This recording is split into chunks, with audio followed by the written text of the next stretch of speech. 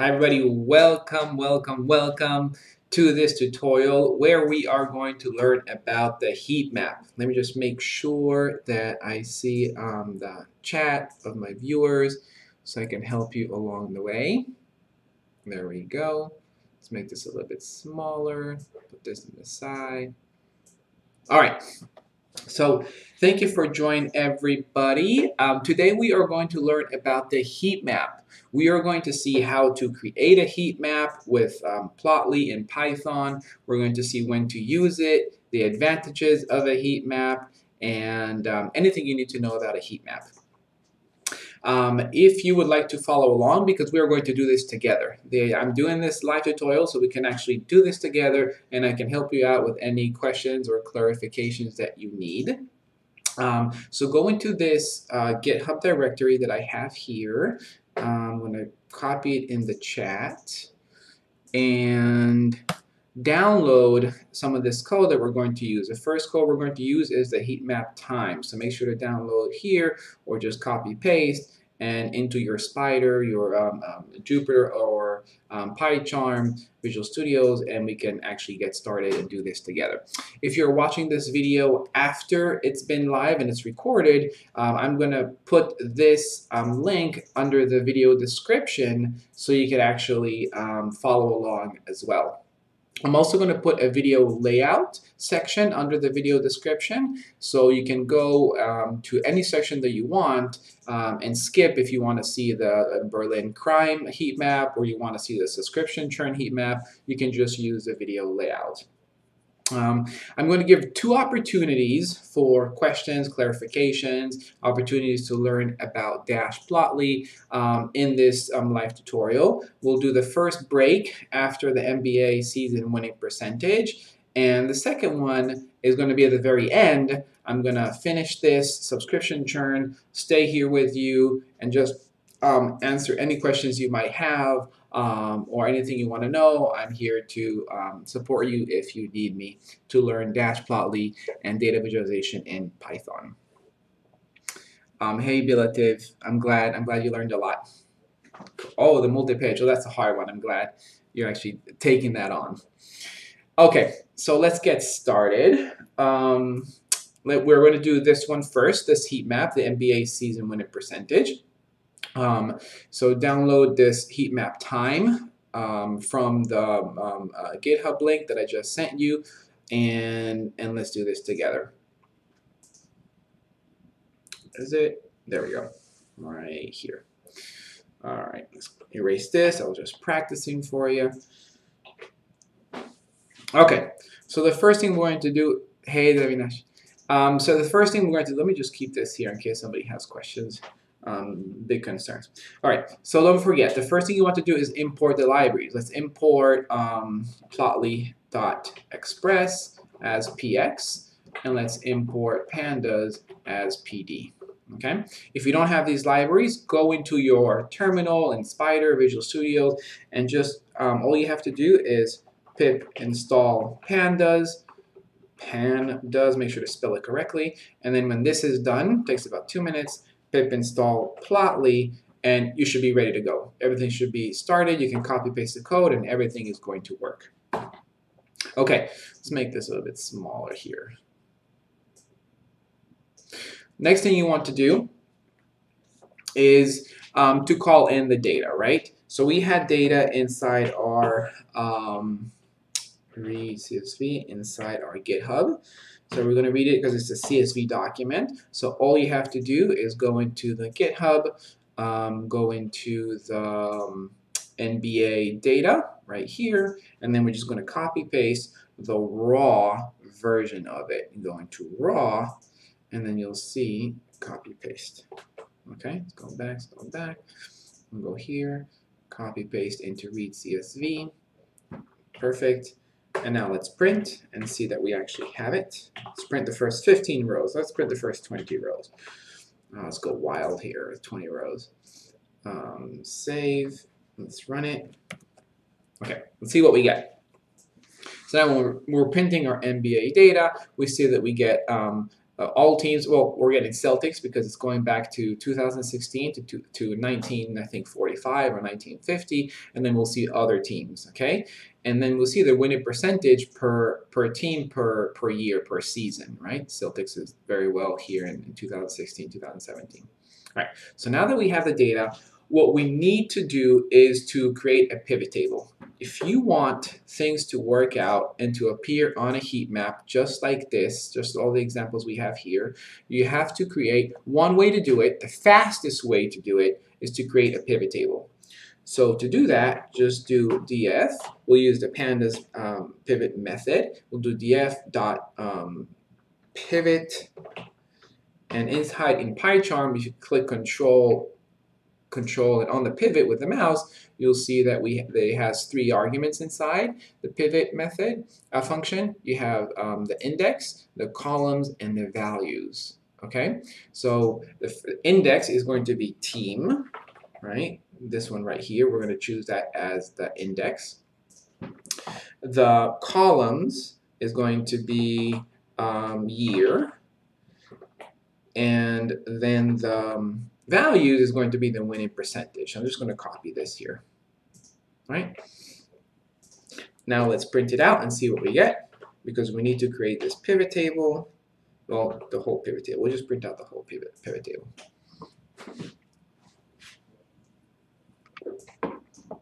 And now you see that we get a pivot table where the team is the index. We have all these teams right here. Make it bigger for you. The year represents all the columns. And then the winner percentages represents the values. So remember this. This is really how you want um, your data frame to look like in order to uh, put it on a heat map the fastest way possible. You have index and then the columns above and to the right and then you have the values. Okay, so now that we have our pivot table, all we have to do is just create the figure. So figure equals, we'll use Plotly Express I am show, the image show, which is the um, um, heat map, and uh, like this, and then fig show, and now it should work. This comes from here. I'm going to put it under the video as well. This is the main page that will teach you all about um, how to create uh, all the parameters for uh, heat map inside of here. Make sure you have the latest version of Plotly for this to work, and you can read all about the different parameters. Okay, um, so now that we put our pivoted table inside the heat map, we can just run it, and it should um, show us all the teams right? We started this as an example with us five teams, but here it should actually show us all of the teams together. Let's run this again. Mm. A heat map, while this is loading, oops, um, is, something that you should, is very similar to, to a bar chart. See all the teams here and the different years, um, but it shows a lot more data.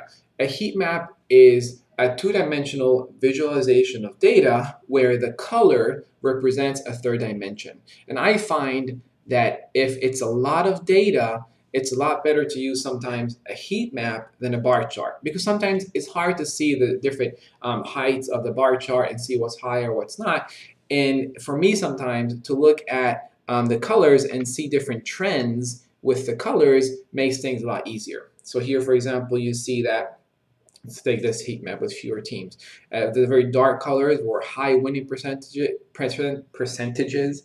Warriors did very well in this year, um, and the Bulls did not very well because it's very, very light color. And then you can um, uh, compare between teams, right? So if you take, for example, 2016, you see the, the Warriors did a lot better than the Knicks uh, a little bit better than Celtics, and so on and so on.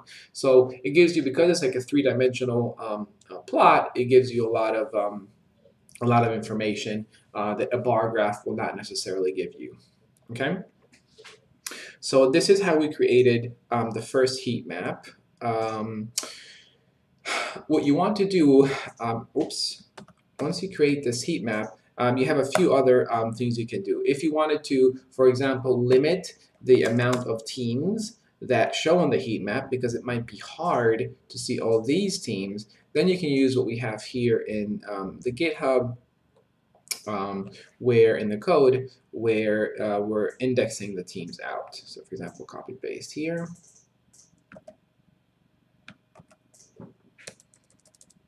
Okay, so you see how we're saying take the data frame where the index, because the index is the teams, right? Where the index uh, is only equal to these five teams, right? So if we do that, this will allow us to create this kind of chart where we have a limited amount of teams. A few other things um, that you can do with um, with um, the heat map is you can actually just copy paste this here and see what else happens. Is all these functions. This is very important in order to customize your heat map. So look here. In the heat map, uh, uh, the PXIM um, um, show um, method, the heat map, um, you can choose your color, right? This, you choose it from the Plotly Express built-in sequential colors, okay? We're choosing this one right here. If you have PyCharm, you can choose, it will give you a list of all the ones that you can choose from, and I'm going to show you that list right now. Okay, so first of all, let's see what this color looks like. Um, the list comes from here. I'm also going to add this under the under the video. Maybe just add it right now so you can take a look in the chat. There you go. Take a look at this. Aside, how you doing, undergraduate? Good luck with your studies. Yeah, is really nice. All right, so um, go into go into here um, in this link, and um, you'll see the different um, sequential colors. So you can use um, the default is plasma is this one I think, but I chose for example right now we chose to do this one Y I O R or Y L I think I'm not sure. So it's one of these. This one I think right. So let's see what it looks like. Oh, it's still loading. Sometimes when I do the video, it's a bit slower, the loading, so I'm sorry about that. Let's see what that looks like.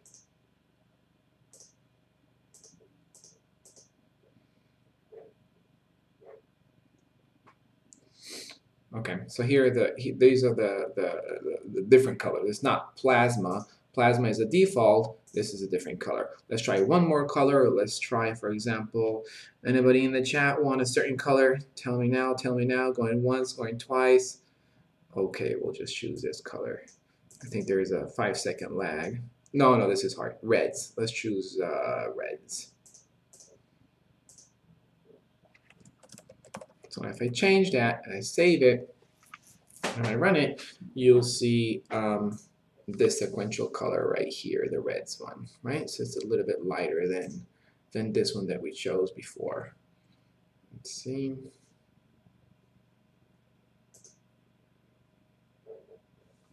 Um, in addition, the color is going to be loading in one second. In addition to the colors, you can also add a title with a title inside of this. And then we're using the fake update layout to um, increase the title font to 27 so it's bigger. I'm putting title underscore X meaning 0.5 meaning I'm putting the title right in the middle of the page. And by doing hover longs, uh, hover on gaps false, this is what it does. If I do hover false, this is original without, sorry, where is it? Okay, this is the red colors. You see if I hover on this, I'll see different hover, I'll see different information. But if there's no data, um, it won't show any hover. And this is because we did hover on gaps false. All right, you see the title is in the middle, it's a bigger font, and it's a nice red color where the dark red is a high percentage of winning and the light red is a very low percentage of winning for Celtics. Um, so this is the hovering gaps false. The last um, parameter inside the update traces is a hover template. You can use the hover template to uh, make your template information um, be whatever information you want, right? So as you can see, we're saying that the y-axis is going to be called team, or we're going to have team um, colon, and then we're going to have the y-axis information. We're going to then skip a row, go break down a row, and then we're going to have year, colon, and then we're going to have the x-axis information. So you have team 76ers, year 2007, and then you will have um, winning percentage, and you will have the z-axis information, which is the color. right? So winning percentage is 0.2. If you did not put this, then um, I think team would go there in there by default, but this would change to color. The Z is always, the last row where you see winning is always colored by default. So this is a way to change um, the, the text inside the hover template. All right, so Aaron de Mexico, buenas. Um, so we just learned how to do our first heat map um, right uh, here, our NBA heat map. Um, we'll take a, a two-minute break um, to answer any questions and to let you um, um, catch up and follow along. In this break, I just wanted to um, highlight that uh, many of these tutorials are possible because of the support that I get from, from you guys, from everybody that's uh, watching me, you ladies. Um, uh, I get this support through the Charming Data uh, Patreon community. Um, and so to show your appreciation, if, if these videos have been helping you a lot, and to help me make more of these high quality videos, um, I would be very grateful if you could uh, join my um, community. Um, the link is right here if you are uh, interested and capable of doing so. I'm going to add it here in the chat. I'm also going to add it under the um, under the, the, the video if you're watching a recording by joining this uh, Patreon community, you'll get access to different Dash Plotly tips and tricks. And I'm also going to offer these um, two um, codes in GitLab. I'm going to offer these two um, um, Python files where you can do also a heat map of a Dash data table. Um, and you can also do a heat map of um, with Dash. So we're going to actually add a drop down and you can add as many um, teams as you want or take away any teams that you want to take away. Okay, I hope to see you there. But thank you for joining me um, um so far. Um, any questions? Anything you want to know before we move on to the next section, which is the Berlin crime distribution to see how to create this and how to create a heat map if you do not have a pivot table. We're going to see that in about two minutes. If you're seeing a recording of this, just um, fast forward to, to this section, the Berlin crime, and um, under the video, and we'll, um, you'll be able to see this. Or just stay for the questions. Okay. Any, let's see here, and Devashish, how are you? How you doing? Ron, welcome. Ya te dije, um, bienvenido, pero gracias por, por ver mi canal y por participar. Um, ojalá le, le, ayude ese tipo de, de heat maps. Um, any questions about the heat map so far, about the code, about when to use it, how to use it? Other things. I'll give you about a few more seconds. If there's no questions, I'm glad. That means everything is clear, and I'll move on to the next heat map. De nada, Ron. Oye, Leonardo. Claro que sé español, Leonardo. Yo pensé que estamos, estábamos hablando en español. No, no intercambiamos algunos emails en español, no sé. Sí, aprendí el español un poco cuando estaba en, viviendo en Ecuador. Con, um, bueno, solo en ese entonces. For sure, Ron, you're, you're welcome. For sure, for sure, for sure. Eh, Jonathan, de Perú. Ah, tengo otros usuarios de, de Perú también. Um, de, de Dashplotly y son, saben bastante bien de Dashplotly. Saludos, Jonathan. Okay, démosle unos 10 segundos más. We'll give it 10 more seconds and then we'll move to the next um, heat map to see how to build this um, these two heat maps together, the subscription and the Berlin crime heat map, okay? 10 more seconds. See if there's any questions.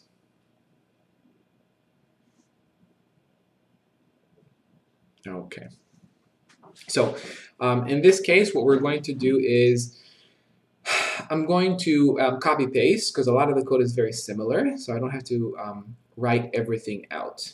Um, if you have questions along the way, please let me know. Ah, Ron, eh, complicado subir estos ejemplos en algún... Uh, thank you, Tolgahan. Hey, Tolgahan.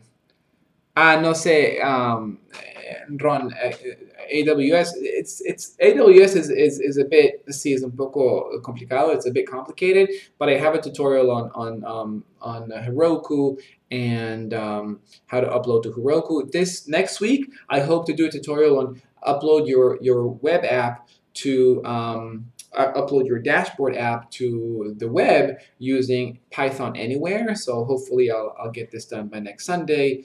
Um, soon to come. Ya van a ver. Pero sí es un poco complicado. Tolgahan, so nice to see you. Hi. Okay.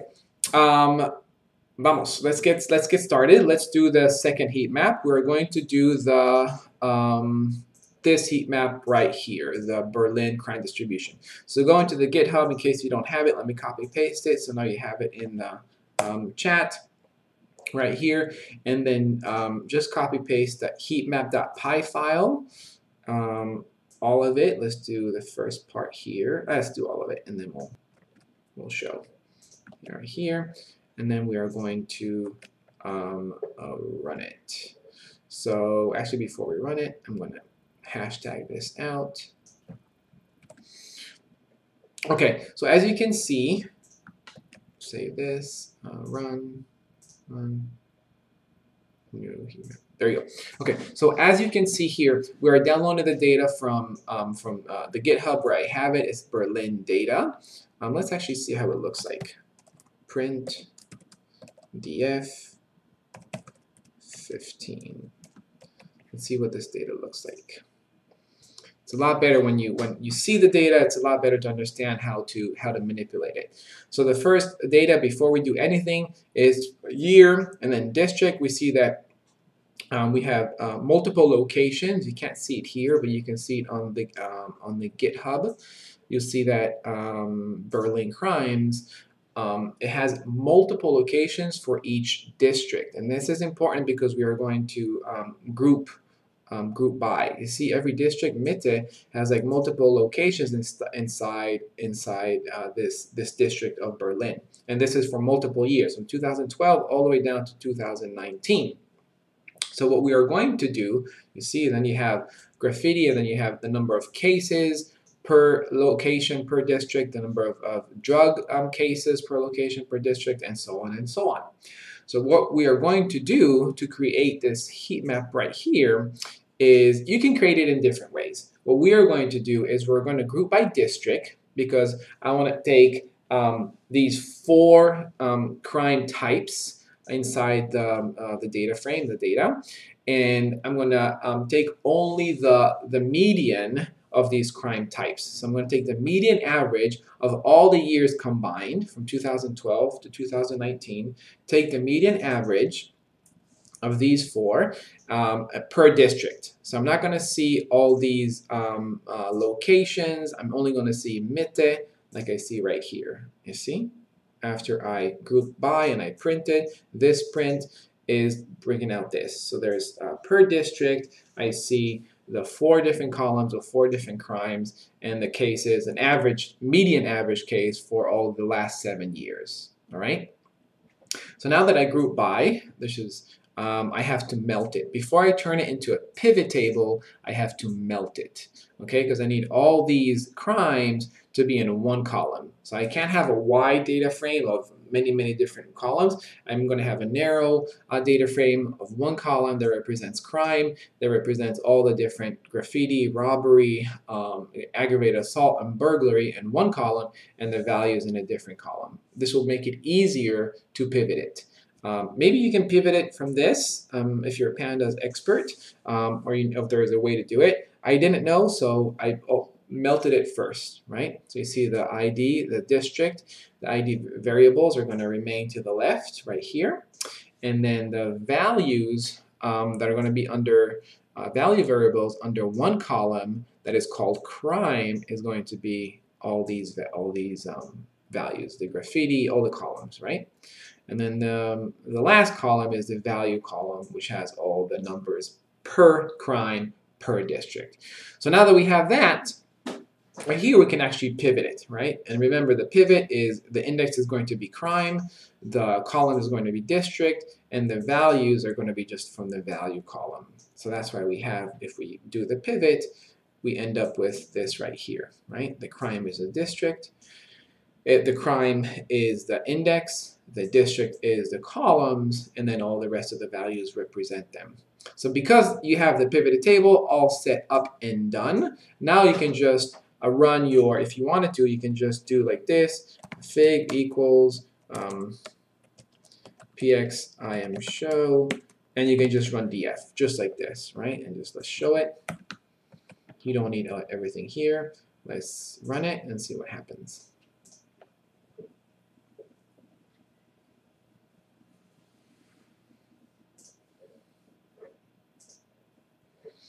Taking a second to load.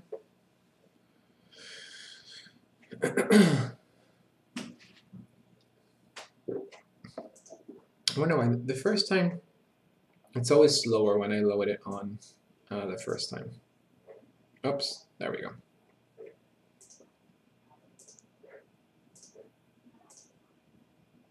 Okay, so close this out.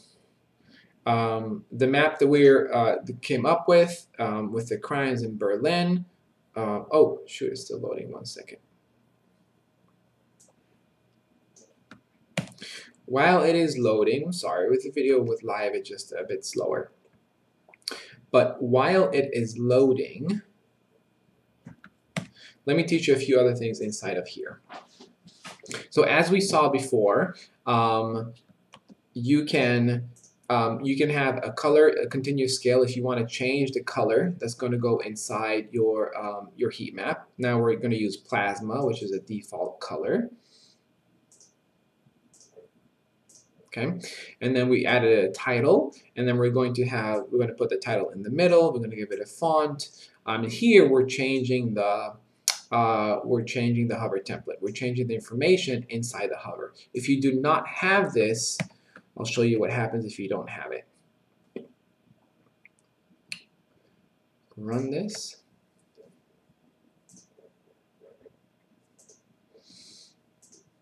Okay, give it um, 10 seconds. It should load here, and you'll see what happens if you did not change the hover um, information.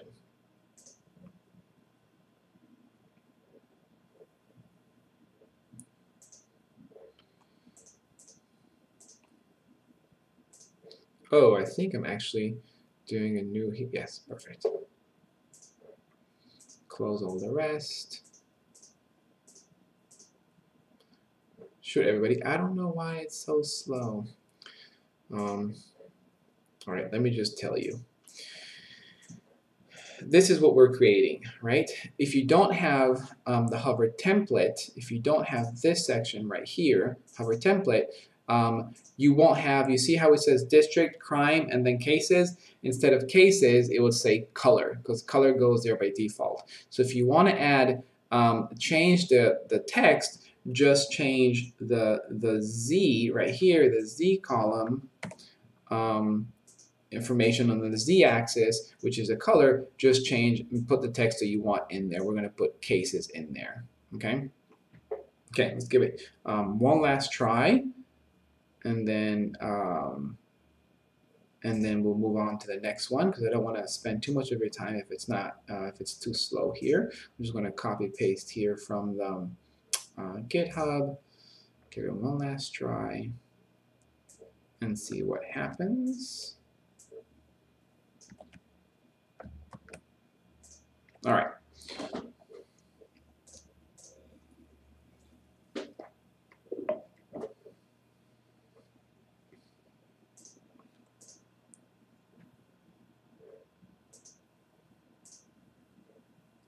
All right, so this is our Berlin crime um, distribution with the, the plasma. And as you can see, we have, um, you can compare between districts and you can compare between crimes. So you see there's a lot more aggravated assault on average in the last seven years than robbery. So that's why I like, um, I like the heat map so much because there's so many different ways and so much information you can see just by looking at colors. All right, now this is an important section. Let's hashtag this out. This is a very, very important section to learn at the very bottom here. And just do all this again. So this, which is the bottom part of the, of the code, this is a way to actually build a heat map where um, if you do not have um, a pivot table, you don't like working with a pivot table, or you're not sure how to create a pivot table from all the data that you have. The only thing you need to do really is to create a list of lists. You see this list of lists that I created? And it's inside the data object. Once you create a list of lists, then you can put that inside the px.imshow with the heat map method, and it will create, hashtag this out, it will actually create your, um, your heat map just by using a list of lists, okay? So This is very important to know because sometimes you can't create a pivot table. So if you cannot create a pivot table, just create a list of lists and this is what happens. You see, I didn't put any x-axis, didn't put any y-axis labels, but I do have the same color that I have right here. It's just in, in a different, in a different, um, in a different way, right? So this is just a list, a list of lists, right? So this is what I did. I grouped by the district, just like I did above. This is the average, like like right I did right here, right? Group by. So this is the average of all the four um, um, crimes over the last seven years per district, right? And then what I did, I took these four crimes and I just did, um, a, I created, I took their values and I put them inside a list. So the result, if I print the list, the result is this. This is, this is important to know. It's a list of different lists. So you see I have one list, a list of one list, two lists, three lists, and you have a total of 12 different lists here. Why 12? Because we had 12 rows of the 12 different um, districts, right? After we grouped everything inside, um, inside districts, we only have 12 different rows in this data frame. You could see that if you just print here the, the data frame. Um, and so for every row, every district represents a list. And inside the list, every every uh, number represents a crime, right? The average uh, median of the crime for the last seven years. So this will represent graffiti, this represents robbery, this aggravated assault, and so on and so on. But this is important to remember because now you know that you can create your labels and your x-axis and y-axis. Because in, in the heat map, in this method, if you just pass a list of lists inside the data, now you know that the x-axis always refers to the, the number of digits inside the, the lists, right? So if you have um, the first list has four digits and, and obviously every list has four digits, you know that you need four different variables on the x-axis. If you, you don't have to call it graffiti robbery, you know it refers to this, but you can call it whatever you want. You can call it um, um, D, A, something, and E, right? If you call this way, this is what you this is what will show up on the graph below, right? Instead of 1, 2, 3, you will have these values. But because we know that these refer to, oops, that these refer to um, graffiti, robbery, and burglary, we might as well put here graffiti, robbery, and burglary. Okay? Now, and the y-axis refers to the list of districts because the y-axis refers to the number of, you see here the, the, the list, the number of lists inside the big list. So there's 12 lists here, and this refers to the y-axis. So I know if there's 12 lists, I know that I need um, 12 variables here. So I can do list, list, um, variable number one, variable number um, two, oops, two, a variable number, we'll call the third variable, whatever. I can put 12 variables in here or 12 different strings, um, or I can just put the districts because I know they refer to the district, right? Um, so important to remember that. And then this is the labels. This labels refer to the hover, right? When this is the information that's going to be on the hover. And then the color scale is a, a regular default color scale that we chose. Even if you took it out, um, you wouldn't have, it will be the same because this is a default color. All right, so now you can see that we have graffiti in the, oops, um, um, crime types in the x-axis, and on the y-axis we have our different um, districts. Okay, if you want to flip this around, you'll have to flip your list of lists. You'll just have to reshape it. And this is why we have this in the code. Reshape the list of lists to swap the x-axis and the y-axis, right? If you want, um, so just do this as a list comprehension of the data. And if we print it out, if you do this, you have to swap the x-axis and the y-axis. So just do this will be the y, and this, oops, and this will be the x, and now it should work. Because remember, the number of lists um, inside the main list right here, right here, refers to, oh, come on,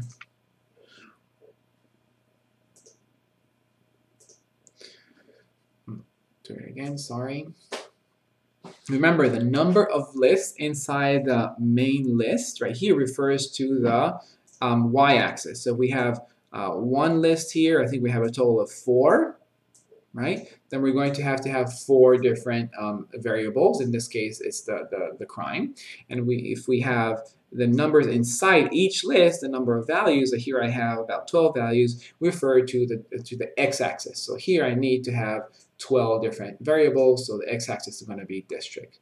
And that's why now, if it, if it loads, sorry it's slower the video, you'll see that, um, that it creates um, this um, heat map that's um, more horizontal and less vertical because we just, we swapped, we reshaped the list of lists. Okay, give it one last shot. One last shot, by PyCharm. We're not giving you more than one more opportunity. You've been slow today. okay, do this. Close these. I think these are heavy on them. There we go. So you see how instead of this way, we reshaped our list of lists using this uh, list comprehension and we changed our x-axis and y-axis with the data appropriately and now instead of this we have this um, nice um, chart. You can add a title to it and you can add whatever you want where you see the heat map of um, crimes in, in districts in Berlin. All right. So now that we have this, we are going to move into our last um, subscription uh, churn heat map. And here, what we are creating here is um, we're, we're using fake data to see how many people, uh, these are all the people that bought a subscription in January, and then when, um, how many canceled per week. So zero people canceled the subscription in week 22, zero people in week 28, but there was one person that canceled week 29, and nine people that canceled in week um, 38, right? So we're going to put the weeks, number of weeks on the x-axis, and the month, that onboarding month of subscriptions on the y-axis. So you have everything here inside um, the GitHub code that I sent you. Just go into the heat map churn. We'll copy paste this into your Python IDE like this. I'm going to copy it into, I'll just put it in the same, in the same um, file like this. Hope that it um, loads a little bit faster. And here you'll see we're doing, we're doing a few things. Mm. What we're doing here is we're changing, um, we're downloading the data, right? This is, this is um, um, churn data, fake data that I created. And then we're grouping by the onboard month and the week um, subscribed, and we're taking the size. Why are we doing this? Because um, we want to know inside um, this data frame, um, we want to um, uh, uh, uh, create a pivot table. And to create a pivot table, you can do it with unstack. It's another way to create a pivot table. Okay. So when we do unstack, we're creating a pivot table, we're filling the empty values with zero. And this is a new thing that we're doing. By filling an empty value with zero, what happens is that um, instead of having this empty screen, like gray in the background, um, now everything will be blue in the background because um, blue is the zero value uh, when there's no um, actually no values. Now it's blue because it's zero. So this is what you get with um, by doing by doing fill value zero.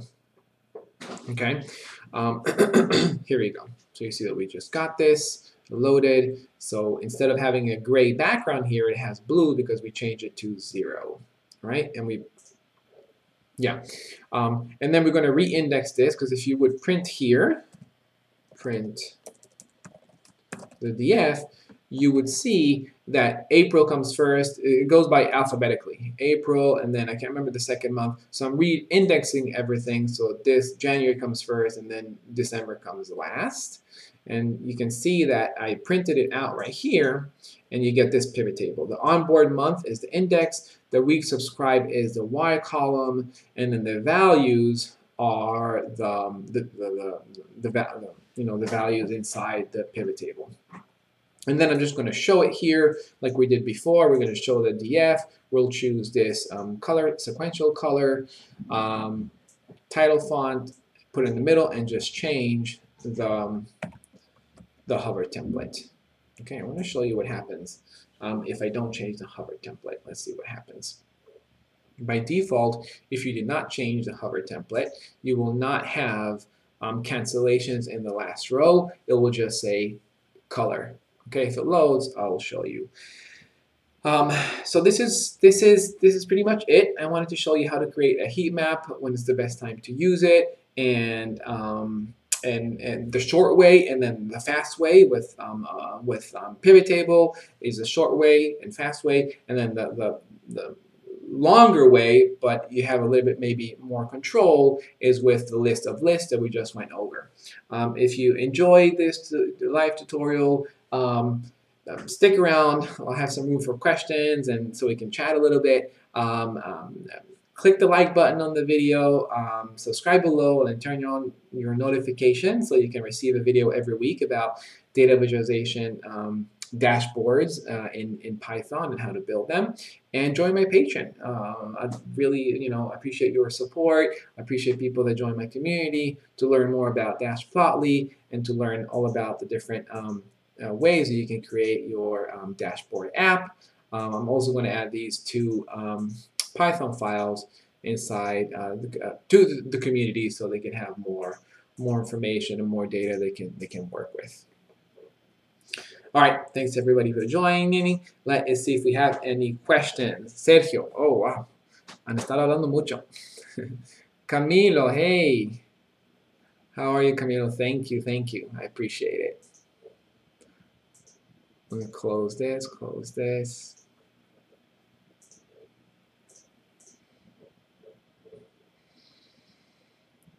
Schleifer.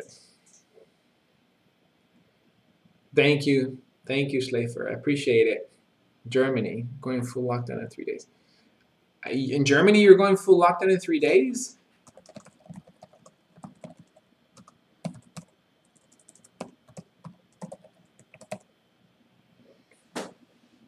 I know, Sergio. I agree. Um, heat maps are tricky. Uh, there's different ways you can do heat maps. You can do also heat maps on on the data table. You can do heat maps on regular maps, but they are definitely um, they are tricky.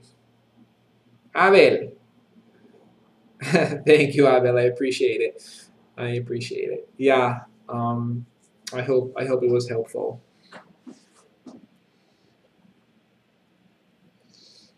Uh, my PC. Let me read some comments here.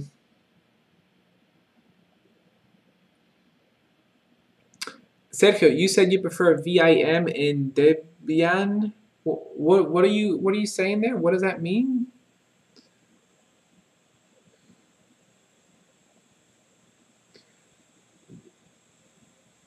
Tolgahan, let me see.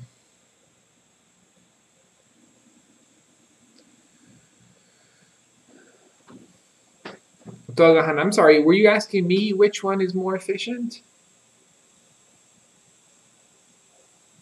Hey, um, I don't. Well, you're not you're not too late for the questions part. Um, we are we're still answering some questions here, but I went over the whole tutorial so you can you can watch it from the beginning if you want, and download the code from from here if you want access to all to all the code. Using pivot or not actually. Oh, um, Tolgahan, which one is more fit? I, I, I think using pivot is more efficient because it's just it's just faster. You don't look at this. When we created this new heat map um, table, or is here, we only did we only we read the data. It was it was built in a way that all I, I could use just the pivot uh, uh, method immediately, and then and then I built my right after this. I could just build my um, figure, just doing plotly express, I am show, and just put df and that, that would be my, that's it. That would be my figure, that would be my heat map. So it's, it's a lot more um, quicker when you, when you can use a pivot table. Uh, but if you don't um, want to, you can use the list of lists and just put the data and then put the x-axis and y-axis labels so they know what their, um, uh, so, the, so the graph looks pretty. Oh, Sergio, the text editor. Okay. Uh, after I prefer the, oh, okay. Why do you prefer VIM and the text editor? Pankaj, you're welcome, you're welcome. Although I use PyCharm. Oh, I got it. Okay, Sergio. It's a simple text editor for Debian. Okay, I got it. Hey, Davis. Um, welcome. I'm, I'm glad you, you, you enjoyed and I'm glad you were able to join. I'll try to do this every, every not every Sunday um, because I, I, have to also live. it takes a lot of time, but I'll try to upload a video every Sunday. And whenever I can, I'll do a live video as well, a live tutorial, so we can get to talk and share things with each other. Um, yes, uh, yes, yes, Davis. Um, you can, for example, this is the interactive part. See, you go here. I'm, I'm sharing this with my. I'm going to put this in my um, uh, Patreon um, community. Um, but here I'm adding a drop down, and I'm adding different. There's different teams, right? So this drop down will add teams to your heat map. Um, so now you can see as many teams as you want, or you can take teams out um, if you don't want to see certain teams. Okay. So this is written with dash. Um, and it's using, I'm using this uh, uh, uh, heatmap underscore dash Python file. So this is how you would build it with, um, to add more interactivity to your,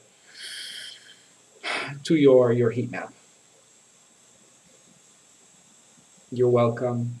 It's me, you're welcome. It's me. You're gonna have to change your YouTube, your YouTube name because I, I, see so many different YouTube, um, I answer so many YouTube questions and followers. I, I can't remember the names unless unless you have the name on there. I remember your logo. I remember it's me seeing you a million times and talking to you a million times, but I'm sorry.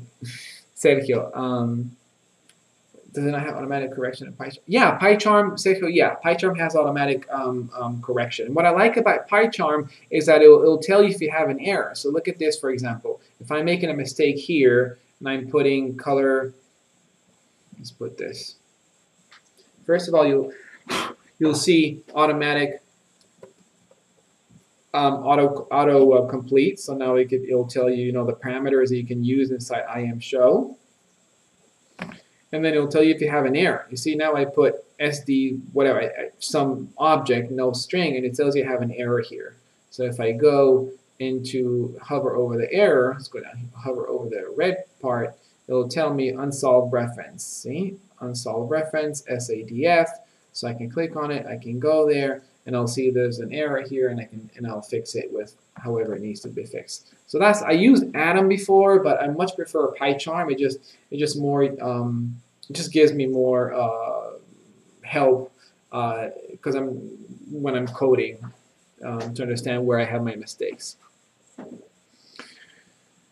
Sergio, you are welcome. Um, yeah, the documentation. It, I find that documentation, documentation in Dash Plotly is comprehensive, uh, but but yes, it's helpful when you have tutorials and you can see videos and explanations on it. Um, and Sergio, yeah, I'll, I'll, try and do this on Sundays every now and then, maybe once, twice a month. So join and we can talk more. Leonardo, um, title of the video where where you show Dash Cytoscape. I've looked for it.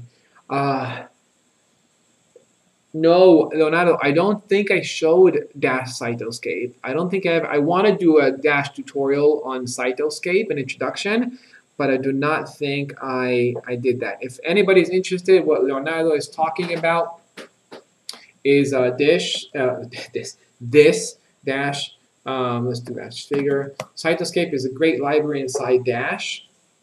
Go into the main Dash uh, website and then go into um, Dash Cytoscape right here. You'll see under Dash Open Source Libraries, click on this, and you'll see Dash Cytoscape overview. I'm going to copy paste the code so yep, the link so you have it right here in the chat. Now Leonardo is talking about this right here, which is um, which is a library inside Dash that allows you to create nodes, uh, highlighting them, labels. Whoops, whoops, zoomed out too much. Um, let's see some layout functions or callbacks, and really cool things inside the, the nodes. Come on, come back to me, come back to me. Here you go. Ah, I'm zooming out too much. Let's go inside here. See, can different nodes, different cities. You can move them around. You can do circles in different ways. So if you know the callback, if you do the call, man, uh, manipulate the callback very well, you you know how to use it, then you can, you can create Cytoscape um, library. You can use that to create these kind of um, nice networks. So yeah, Leonardo, I hope that answered your question. Um, yeah, I know, I know it's me. We've discussed many, many questions. it's me as well. I just don't remember the name because I talked to a lot of people. I'm sorry. Um, yeah, Tolgahan, I agree. It, it, does. I well, I don't know VS Code. I, I heard really good things about it, so I, I can't say PyCharm is better. I just um, I I haven't tried uh, VS Code yet, but I've tried PyCharm and Atom, and I like PyCharm more. Um, Jonathan, yes, you need to install, you need to install, to run the library, you need to install a Plotly and, and Pandas if you are referring to the tutorial. Um, well, you need to install those two things. Ron, my, my, my code editor is, is PyCharm. The one you plot, is it the one? Yes, I use PyCharm. Or for nodes, I will use Dash, but I use I'll put everything on PyCharm. Okay.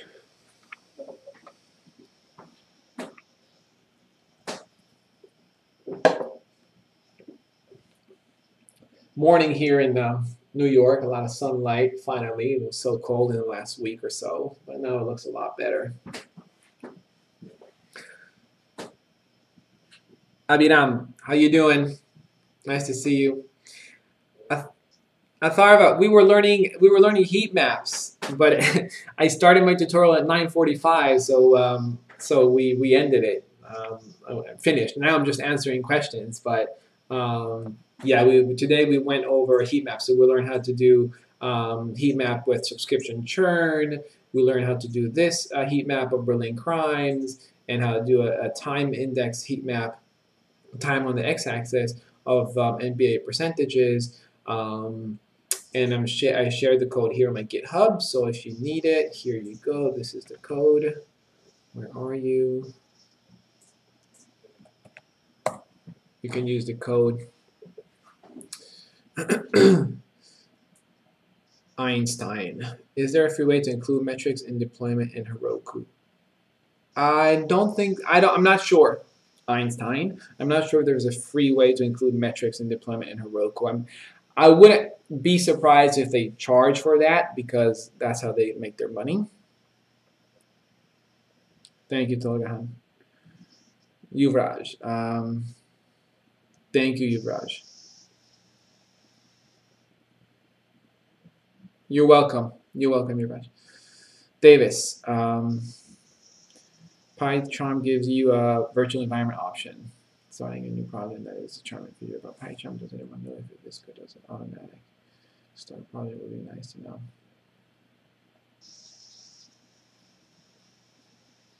Thank you, it's me. Thank you, thank you very much. Ah, Leonardo, sí. Por el chapulín.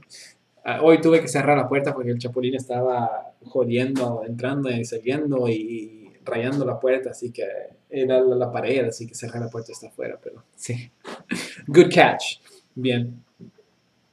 Um, Davis, that's a good question. Does anybody know if, if you can use um, uh, VS Code, you can use virtual environment on uh, VS Code? I, I, would be surprised if you couldn't, but I'm, yeah, I don't know. I don't, didn't use um, VS Code. But if anybody knows, please let Davis know if you can use virtual environment with, um, with VS Code, inside VS Code. Sí, Chapulín. Por el Chapulín Colorado. Atharva, I, I emailed you yesterday. I um, I sent you some information on, on the Choropleth. Um, I just have a long to-do list of tutorials. Um, maybe I'll get to it one day for, for Choropleth on different countries. But look at that file that I sent you that, that on, on Twitter. That should be that should be helpful.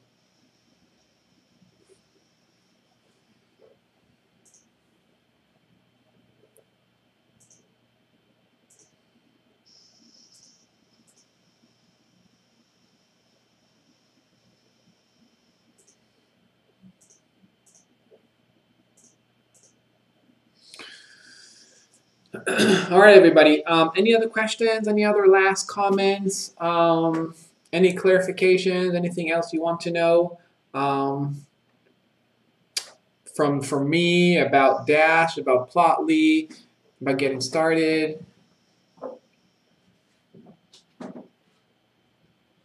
You're welcome, Atharo. I hope it, it helps. It's it's very comprehensive, um, a lot of information, but I think it would help you create create um, different choropleth maps on different um, in different countries. It, it, shows you how to use um, GeoJSON files.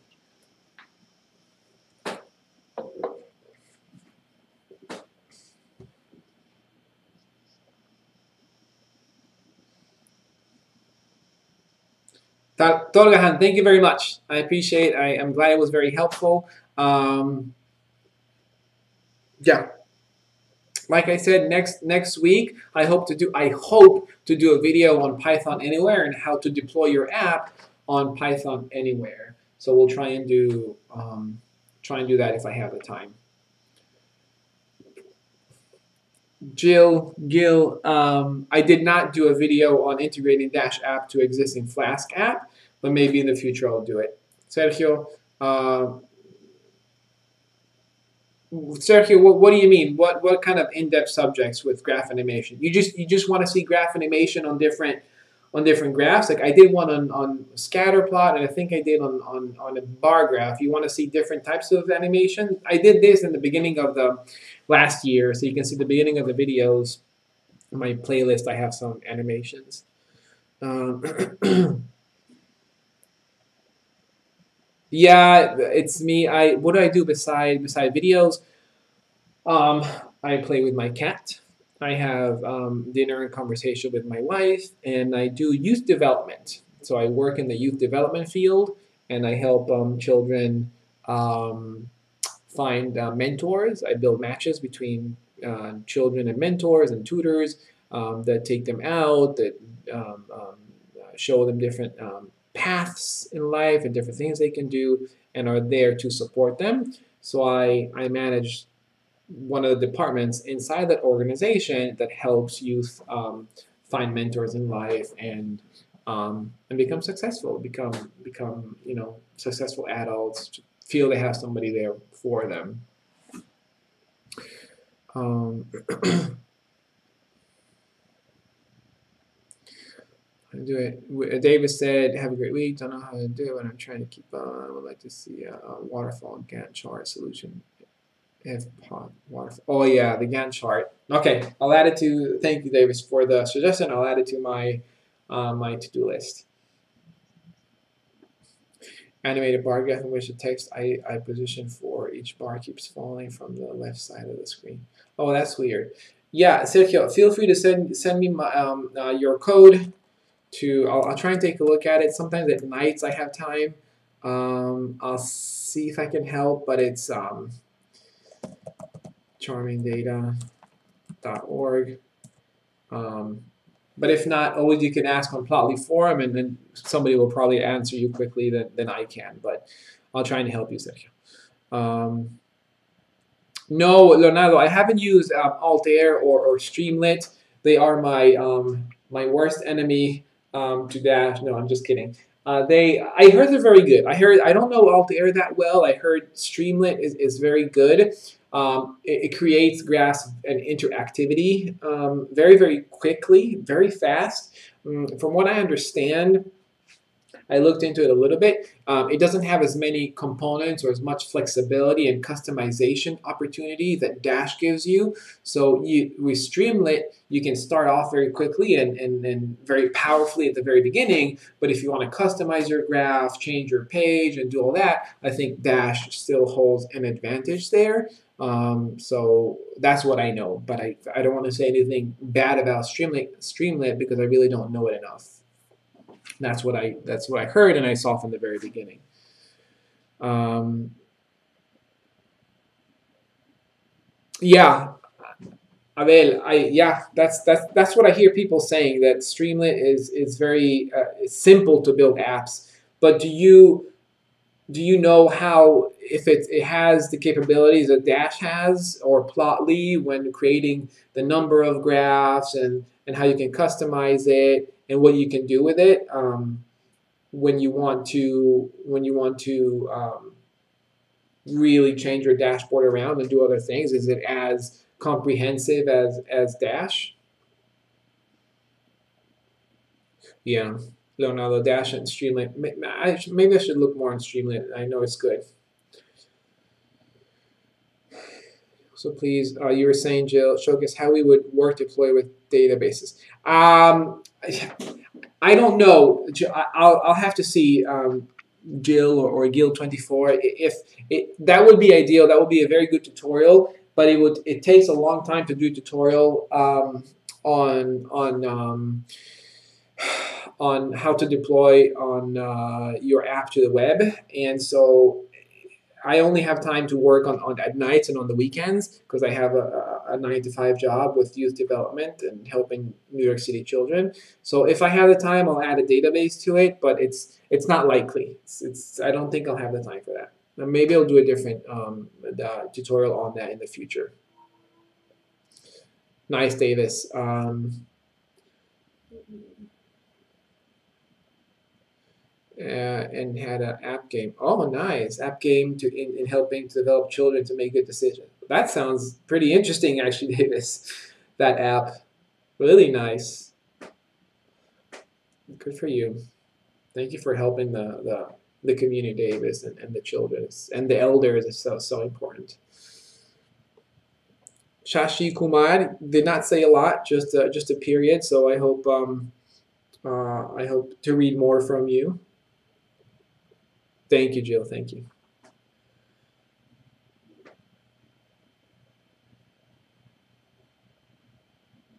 Okay, that's good to know. Streamlit um, to build dashboard is very fast. That's good to know.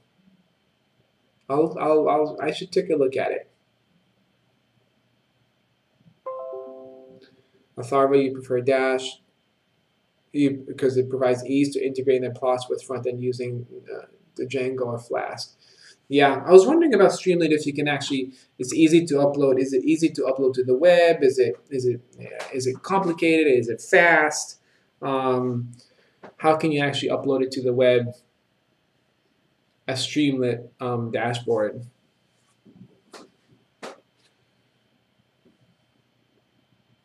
Do you know Adel or Atharva? Have you ever have you ever uploaded a Streamlit um, dashboard to the web?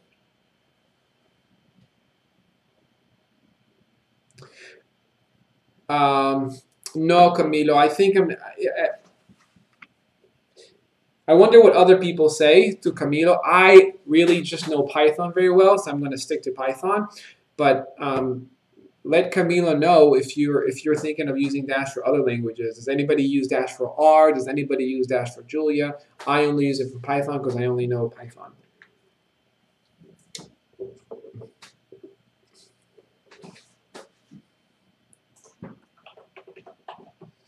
Let me write this. Um, I, I prefer Plotly. It just has more functions than Bokeh, in my opinion. Yongshan. Have you uploaded a stream dashboard to the web?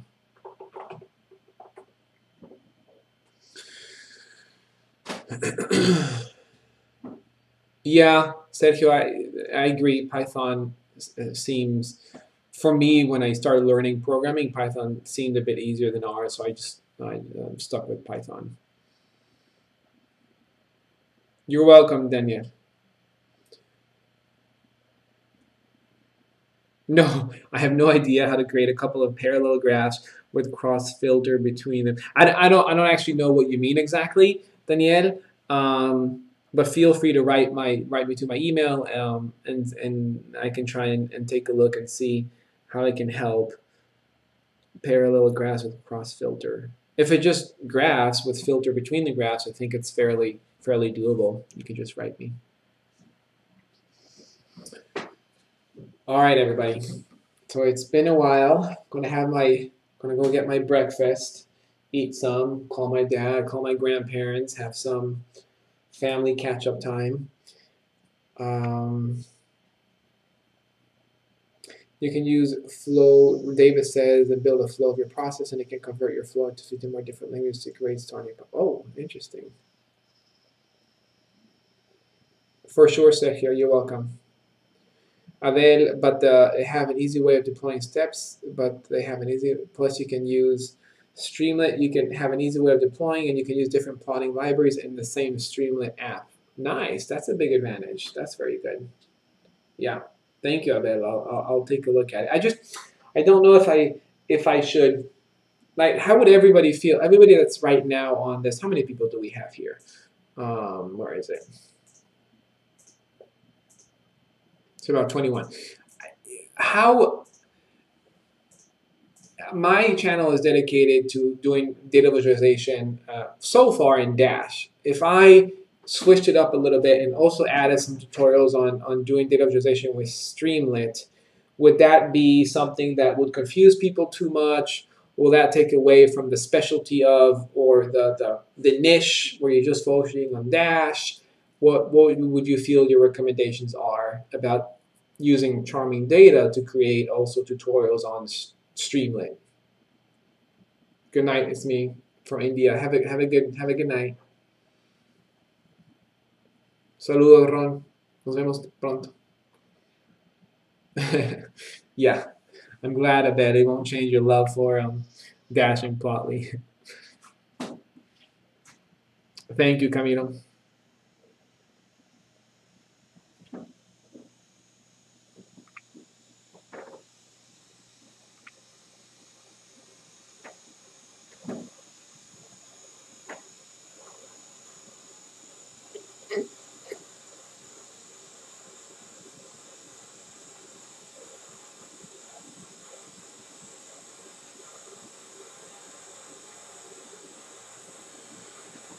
Okay, everybody, so I am going to... Cuando una en español. Cuando una... Mauricio, no entiendo muy bien cuando una en español. I think it's going to explore other ideas. Okay, thank you, Abel. Okay, Sergio, thank you for the recommendation.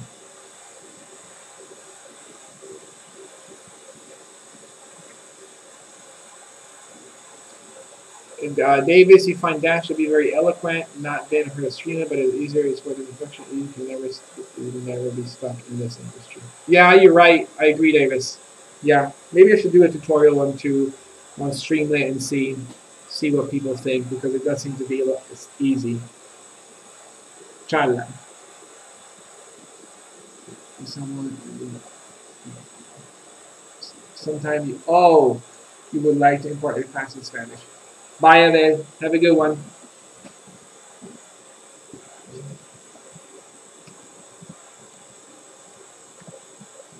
Um, sí, Mauricio, yo, yo podría dar una clase en, en, en español también. Depende de qué, qué quieran aprender o qué tipo de tutorial, pero claro que podría dar en español también para ayudar a, a gente que habla más español que inglés.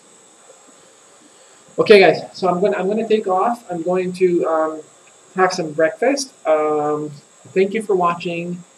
Thank you for um, uh, um, subscribing and joining my channel and just following along. Um, I really enjoy talking to you. And uh, I hope you have um, I hope you have a good day. Chao todos, chao Sergio, Mauricio, todos los que me hablaron español de América Latina o de hispanohablantes, que les vaya muy bien.